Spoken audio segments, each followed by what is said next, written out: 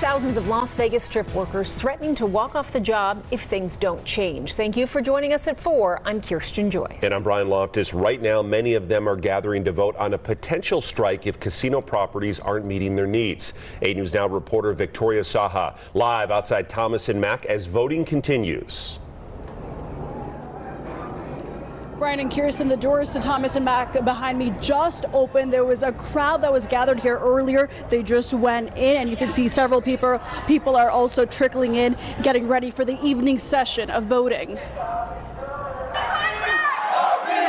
culinary and bartending union workers demanding change, making sure they are loud and clear. They're understaffing us and overworking us while they're making record profits. Profits workers like Gabriel Fuentes want a share of. We're coming together to show these companies that we cannot and should not be left behind because we're the ones that are making your money. The unions represent more than 53,000 workers. Many, like Victor Chavez, are working despite his original contract ending. We extend another time. Nothing happened. We extend another time. And then and the end we said, you know what? We're not going to spend the whole year extending our contract. So this is it. We give you notice no more extension. Better wages, benefits, and job security are the top priorities. It's a domino effect.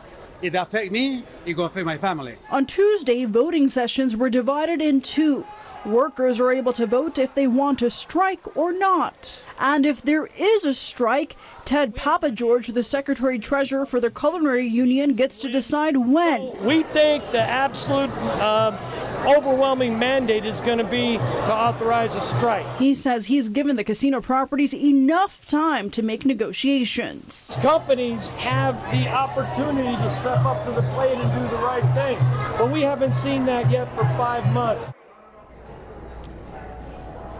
So if there is a strike, I'm told MGM, Caesars, and Wynn will be the first properties to be affected. And quite literally, you will have thousands of workers that just won't show up to work.